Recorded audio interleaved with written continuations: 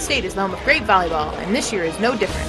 The NCAA Women's Volleyball Regional Semifinals and Final are in Rec Hall on December 10th and 11th. Four of the top teams in the country will be at Rec Hall competing for a trip to Kansas City to play for the national championship. You don't want to miss any of the action, so call 814-865-5555 or visit Championship Central on gopsusports.com. NCAA Women's Volleyball at its best in Rec Hall on December 10th and 11th.